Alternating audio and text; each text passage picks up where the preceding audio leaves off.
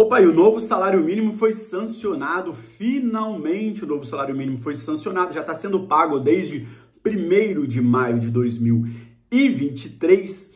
O salário mínimo já estava definido desde o ano passado, mas o governo não pagou por quatro meses esse novo salário mínimo.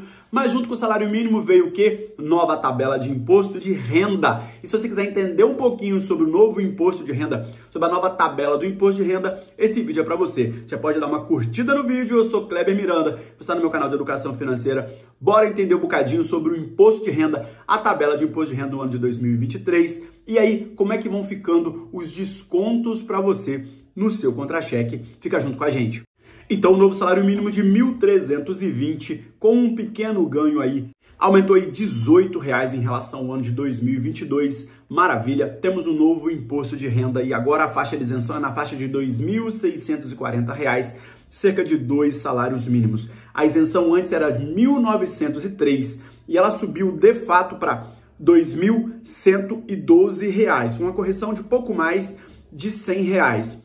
A isenção de fato é R$ 2.112, mas agora o governo te dá um desconto de 528 reais direto na fonte, que é um desconto que você já tinha na declaração. Então, você passaria pelo recolhimento e depois teria o dinheiro de volta na na hora de você fazer a declaração. Então, não abriram mão de receita coisa nenhuma, mas esses 528 reais agora o, o, imposto entra descontando, aparece lá creditando no seu contra-cheque, dá uma olhada lá. Muita gente tinha perguntado para a gente recentemente. Olha aqui agora como é que tá a faixa do imposto de renda aqui na tela. A nova tabela do imposto de renda, essas faixas começaram a valer aí em 1 de maio de 2023. A base de cálculo até 2.112, zero alíquota zero, zero valor a deduzir. De 2.112 a 2.826,65, 7,5%. E aí tem um valor a deduzir de 158,40 e de 2.826,66 a 3.751,05 a faixa é de 15% e tem ali um valor a deduzir de R$ 370,40 e de 3.751,06 a 4.664,68 é 22%. E aí você tem o valor deduzido de 651 reais e quem ganha acima de 4.664 paga 27,5% e tem uma alíquota ali, um valor a deduzir de 884 reais.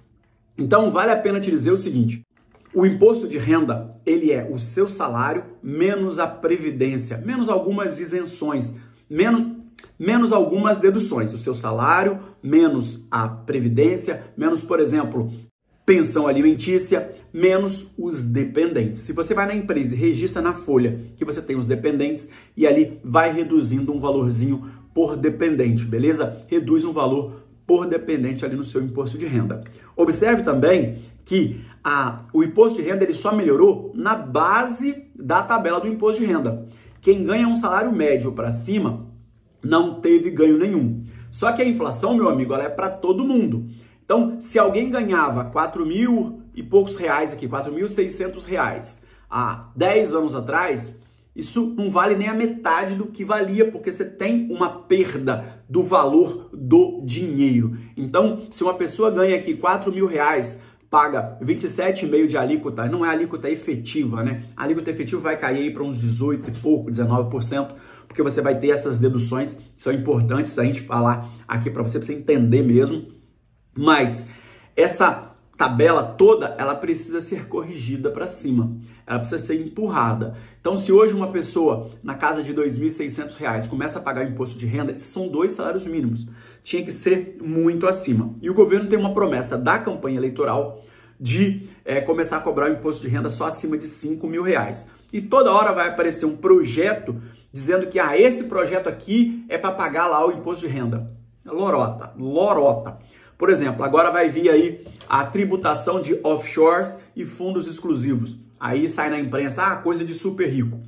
E aí vão arrecadar 20 bilhões. Vai nada, vai nada, não vai arrecadar coisa nenhuma. Porque quem tem muito dinheiro tem estratégia para essas coisas também.